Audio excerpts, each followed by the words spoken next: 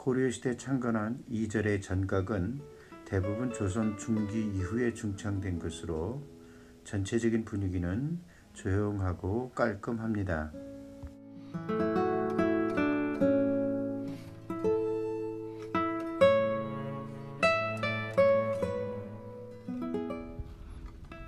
비룡산 중턱 위에 세워진 이 아미타불 석불은 특이하게도 머리 위에 보주 형태의 관을 쓰고 있습니다.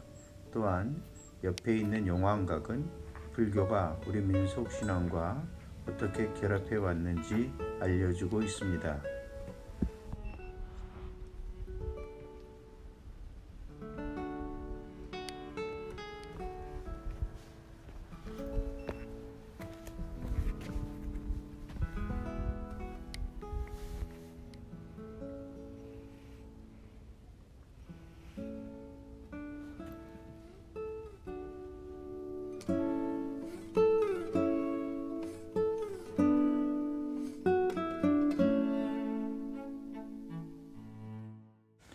비룡산 중턱에 오르면 육지 속의 섬이라고 불리는 회령포 마을 전체의 모습을 볼 수가 있습니다.